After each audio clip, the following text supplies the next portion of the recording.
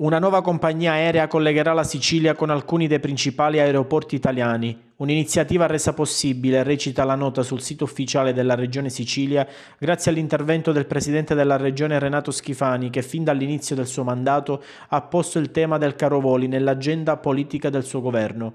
Il nuovo vettore che avvierà i collegamenti tra qualche settimana è Aero Italia, compagnia italiana a capitale interamente privato.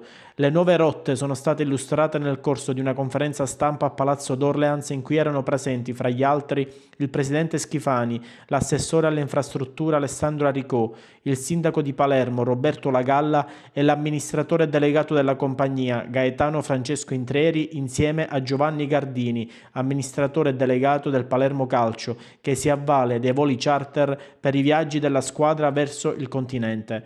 Oggi, ha evidenziato Schifani, è una bella giornata per tutti i siciliani perché interrompiamo il duopolio che porta in alcuni periodi dell'anno all'aumento spropositato dei costi dei voli tra la Sicilia e i principali aeroporti italiani.